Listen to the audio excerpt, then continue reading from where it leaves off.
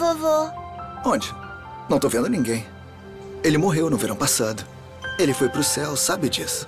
Ela te contou sobre um homem que ela viu no sonho? Eu não estou me sentindo muito bem. A contagem de glóbulos brancos da Lucy tá elevada. Para! A esperança, às vezes. Como entrou aqui, garota? Eu tô escrevendo um livro e você está nele.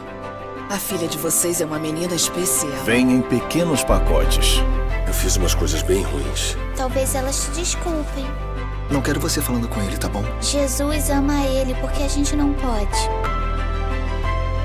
As coisas nem sempre são como planejamos. Seis dias até o Natal. Nem sempre temos o que queremos, mas sempre temos o que precisamos. Somos conectados. Todos nós.